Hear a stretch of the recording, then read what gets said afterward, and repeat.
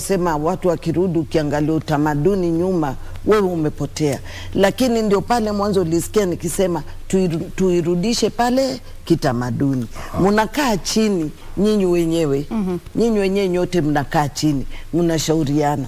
Mwamkondo, naona imefika dakika ya mwisho, mimi na wewe hatupelekani, tufanyeje? Baba, tuna watoto tumechuma ama umechuma, utaniachaje? Ndio pale wanakaa wanaangalia sura ya pili ya nyinyi kuishi.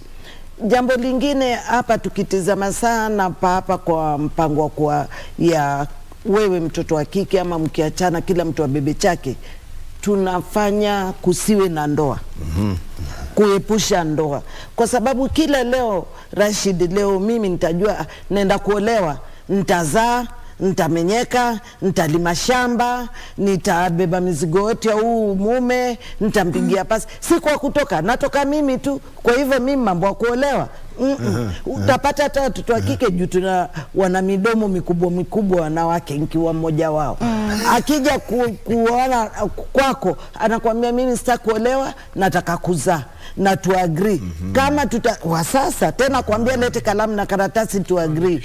E, tukifikishana mwisho, mimi kama nitatoka nitatoka na mtoto mm -hmm. sijazuia kuwa wewe ni baba, nitatoka na mwanangu, mm -hmm. lakini akiwa mkubwa kama atakutafuta well and good, kama atakutafuta mm. wewe msahau.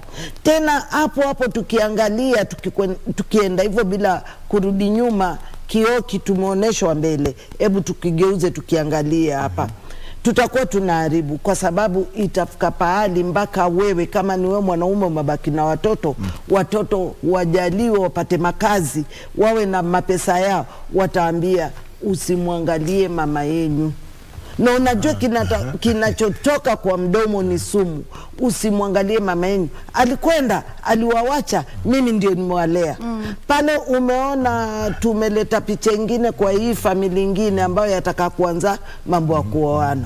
Unaona hapo sasa, itakuwa watu watazaa ovyo bila kwa, kuangalia mtizamo wa kuwa tunataka kujenga familia.